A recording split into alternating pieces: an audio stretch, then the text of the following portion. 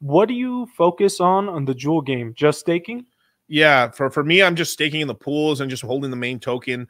I'm letting I'm letting people play the games. That's usually how I play, I invest in a lot of these GameFi tokens. Is for the most part, I just I'm holding the token, and I'm in the most. I'm just trying to be in the most liquid market where I can get in and out. I I uh, typically don't buy that much NFTs inside the games unless it's land, but I'm just actively selling, buying and selling the land and getting out of it. Like you have to be careful not to get too stuck in the NFT side because you can not have the liquidity or the time to get out.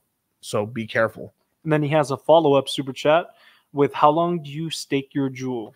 So currently, I don't stake my jewel out at all. I just keep it all liquid. I'm, I'm in some LP pools, like right. I'm in the crystal jewel pool. I mean the crystal uh, AVAX pool right now. That's the only pool I'm in right now. I just been slowly stacking up jewel, or I just use cash to buy some.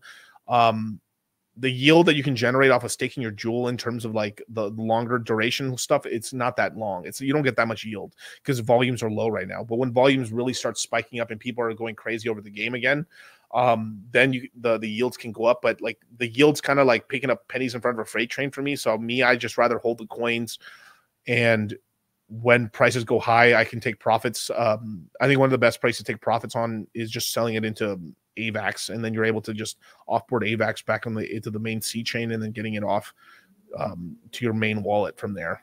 And if that was and if that was uh sounded like gibberish, crypto mindsets coming your way.